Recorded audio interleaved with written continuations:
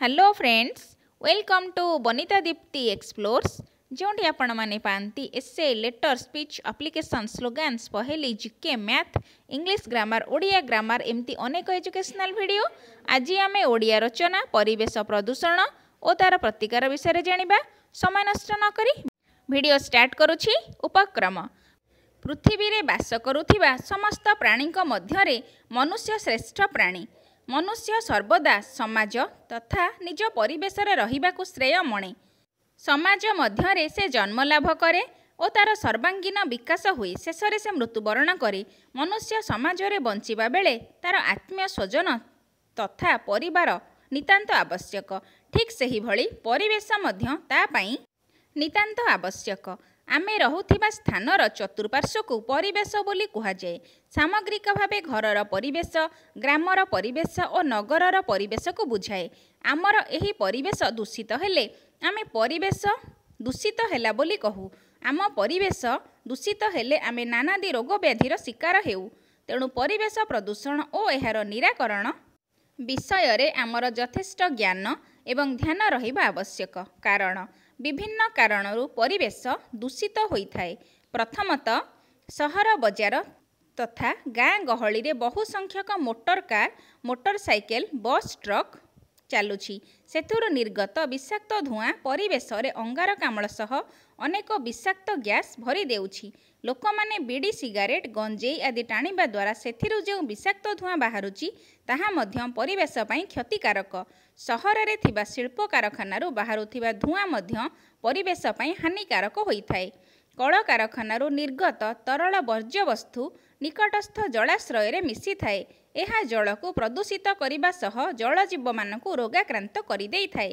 ସେହିପରି ନାଳ ନର୍ଦ୍ଦମା ଖତଗଦା ଅବୈଜ୍ଞାନିକ ପାଇଖାନା ପରିସ୍ରାଗାରର ବର୍ଜ୍ୟବସ୍ତୁ ଉତ୍କଟ ଗନ୍ଧ ପରିବେଶର ପ୍ରଦୂଷଣ କାରଣ ହୋଇଥାଏ। କୌଣସି ପର୍ବପର୍ବାଣୀରେ ପୂଜା ସାମଗ୍ରୀ ମୂର୍ତ୍ତି ଫୁଲ ଆଦି ପାଣିରେ ଭସାଇଲେ ଏଥିରୁ ନିର୍ଗତ ଗନ୍ଧ ପରିବେଶକୁ ପ୍ରଦୂଷିତ କରିଥାଏ। ତା ସହିତ ଅସୁନ୍ଦର ମଧ୍ୟ ଦେଖାଯାଏ। ଜଳ ପ୍ରଦୂଷଣ ମଧ୍ୟ ହୋଇଥାଏ। ଭାରତର ପବିତ୍ର ନଦୀଗୁଡ଼ିକ ଯଥା ଗଙ୍ଗା ଯମୁନା ମଧ୍ୟ ଏହି କାରଣରୁ ପ୍ରଦୂଷିତ ହେଉଛି। ପ୍ଲାଷ୍ଟିକ ଜନିତ ପ୍ରଦୂଷଣ ମଧ୍ୟ ଏହି କ୍ଷେତ୍ରରେ ଅଧିକା ହେଉଛି। ଶବ୍ଦ ପ୍ରଦୂଷଣ ପ୍ରାଣୀ ସମାଜ ନିକଟରୁ ଶାନ୍ତି ଓ ସହାବସ୍ଥାନ କ୍ଷେତ୍ରରେ ବ୍ୟାଘାତ ସୃଷ୍ଟି କରୁଛି। ପରିବେଶ ପ୍ରଦୂଷଣ ଏଭଳି ପରିସ୍ଥିତିରେ ପହଞ୍ଚିଲାଣି ଯେ ପ୍ରତିଟି ମୁହୂର୍ତ୍ତରେ ଆମେ ଯଦି ସତର୍କ ନ ହେବା ତେବେ ଆମର ସ୍ଥିତି ବିଲୁପ୍ତ ହେବ। ବର୍ତ୍ତମାନ ଜନସଂଖ୍ୟା ବଢ଼ି ଚାଲିଛି। ଏହି ବର୍ଦ୍ଧିତ ଜନସଂଖ୍ୟାର ଆବଶ୍ୟକତାକୁ ଦୃଷ୍ଟିରେ ରଖି ଦ୍ରୁତ ଶିଳ୍ପାୟନ ବଢ଼ି ଚାଲିଛି। ତା ସାଙ୍ଗରେ ବାୟୁ ପ୍ରଦୂଷଣ ଜଳ ପ୍ରଦୂଷଣ ଶବ୍ଦ ପ୍ରଦୂଷଣ ମଧ୍ୟ ବଢ଼ି ଚାଲିଛି ସୁସ୍ଥ ସୁନ୍ଦର ପରିବେଶର ଏଭଳି ଅବକ୍ଷୟ ନିଶ୍ଚୟ କ୍ଷତିକାରକ। ପରିବେଶ ଉପରେ ସବୁଠାରୁ ଅଧିକ ପ୍ରଭାବ ପକାଏ ଜଙ୍ଗଲ କ୍ଷୟ ଅଂଶୁଘାତ ଓ ଜଳବାୟୁରେ ପରିବର୍ତ୍ତନ କେବଳ ଜଙ୍ଗଲ କ୍ଷୟ ଯୋଗୁଁ ଘଟୁଛି। ଅଧିକ କୋଠାବାଡ଼ି ନିର୍ମାଣ ଭୂତଳ ଜଳର ଅପପ୍ରୟୋଗ ପରିବେଶ ପ୍ରତି ବିପଦ ସୃଷ୍ଟି କରୁଛି। ପଲିଥିନ୍ର ଅତ୍ୟଧିକ ବ୍ୟବହାର ମଧ୍ୟ ବିପଜ୍ଜନକ ପ୍ରତିକାର। ଆମର ପରିବେଶ ପ୍ରତି ବର୍ତ୍ତମାନ ଯେଉଁ ବିପଦ ଦେଖାଦେଉଛି ଏଥିପ୍ରତି ଆମକୁ ସଜାଗ ରହିବାକୁ ହେବ। ଜନସଂଖ୍ୟା ନିୟନ୍ତ୍ରଣ ସହିତ କଳକାରଖାନାର ନିର୍ଗତ ଧୂଆଁକୁ ପ୍ରଦୂଷଣମୁକ୍ତ କରିବାକୁ ହେବ।